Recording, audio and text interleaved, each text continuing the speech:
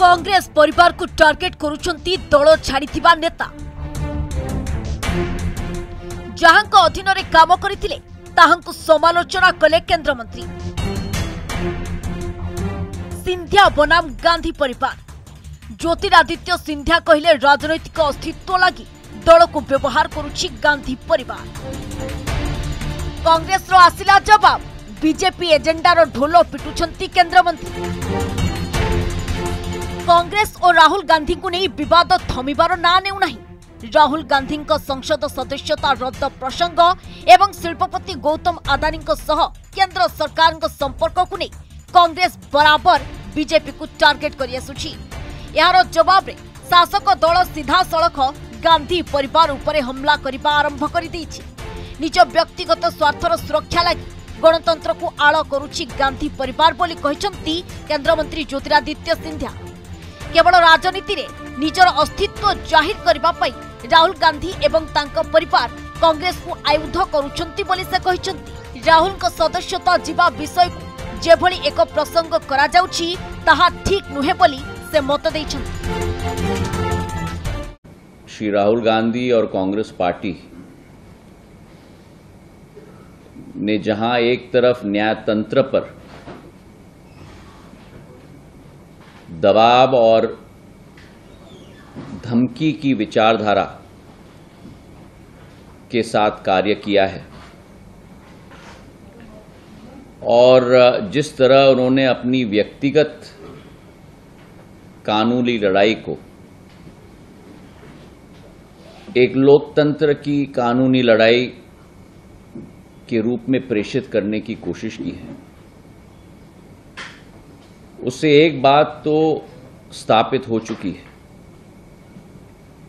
कि कांग्रेस पार्टी इस देश में लोकतंत्र के साथ खिलवाड़ करने में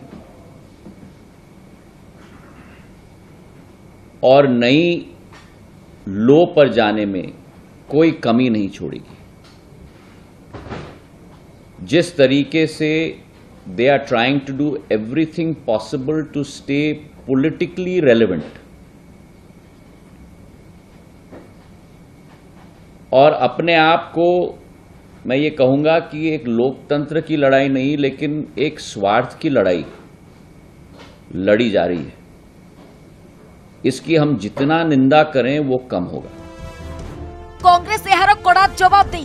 प्रथम व द्वितीय श्रेणी नागरिकता कौन ता राज्य परिवार आसी ज्योतिरादित्य सिंधिया भल भाव बुझिंटी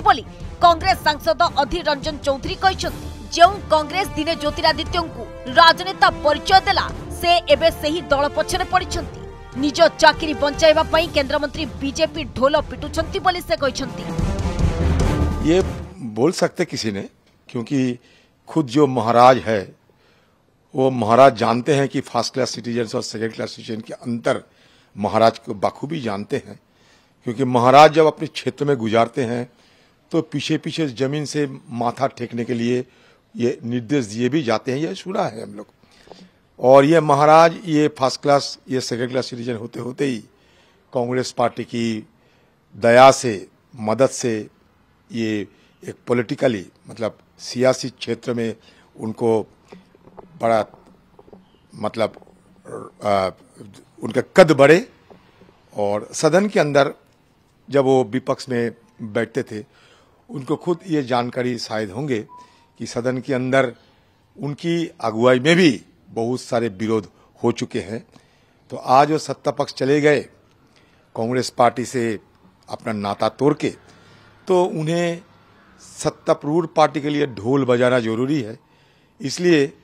चुन चुन के उसी लोगों से ही ये ढोल बजाना, बजाए जाते हैं, डिडोरा पिटाए जाते हैं और राहुल गांधी और कांग्रेस पार्टी के खिलाफ तरह तरह के आरोप लगाए जाते हैं। ये ये तथ्यहीन है आधारहीन है ଜ୍ୟୋତିରାଦିତ୍ୟ ପ୍ରଥମେ କଂଗ୍ରେସ ଦଳରେ ଥିଲେ ସେଠାରୁ ସେ କେନ୍ଦ୍ରମନ୍ତ୍ରୀ ମଧ୍ୟ ହୋଇଛନ୍ତି ଏବେ ଦଳ ବଦଳ କରି ମୋଦିଙ୍କ ମନ୍ତ୍ରିମଣ୍ଡଳରେ ସ୍ଥାନ ପାଇଛନ୍ତି ତେବେ ବିଗତ କିଛି ଦିନ ହେଲା ବିଭିନ୍ନ ବିଜେପି ମନ୍ତ୍ରୀ ପ୍ରେସ୍ କନଫରେନ୍ସ କରି କଂଗ୍ରେସକୁ ଟାର୍ଗେଟ କରୁଛନ୍ତି ବ୍ୟୁରୋ ରିପୋର୍ଟ ଓଡ଼ିଶା ରିପୋର୍ଟର